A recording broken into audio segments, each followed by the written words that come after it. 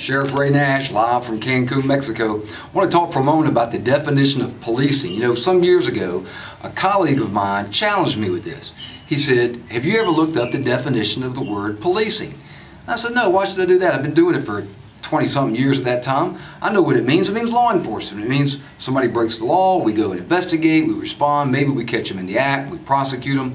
It's law enforcement and policing, they're synonymous with each other.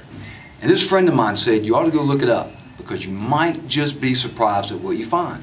So I took his challenge and I went to my American Heritage Dictionary and this is what I found. The definition of policing is the regulating and control of the affairs of a community, especially as it relates to five things.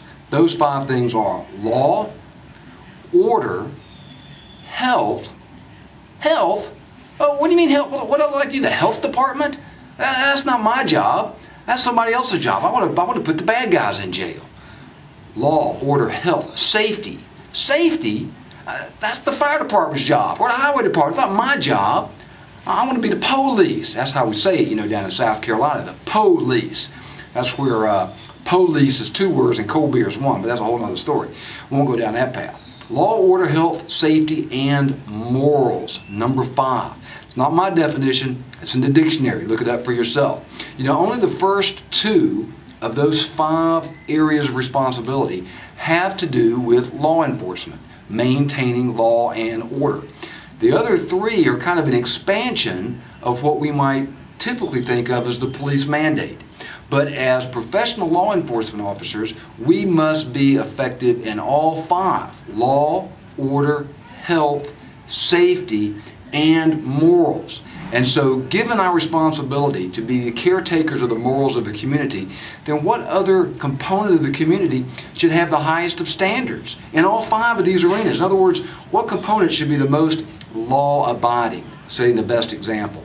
What one should be the most orderly, squared away, and self disciplined? Which one should be the most fit?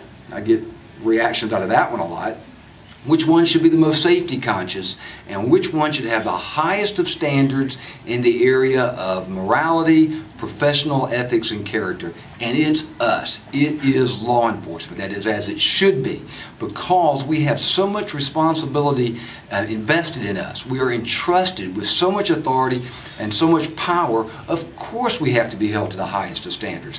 Think about what the power that a law enforcement officer has in America. We have the power to take away things. We can take away things like life, property, freedom, and get this, children. Nobody else in our culture has that kind of power entrusted to them. So of course, we must have the highest of standards in the area of ethics and character.